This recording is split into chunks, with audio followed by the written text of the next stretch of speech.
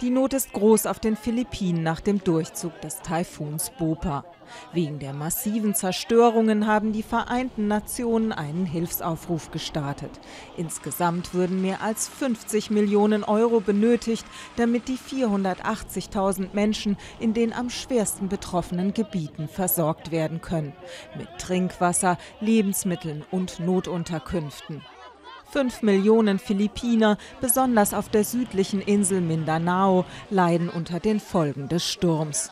Bopa fegte am Dienstag als Taifun über das Land hinweg, am Sonntag kehrte er noch einmal mit heftigen Regenfällen zurück.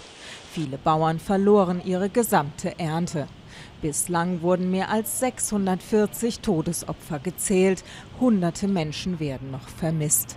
Fast 180.000 Menschen halten sich in überfüllten Notunterkünften auf.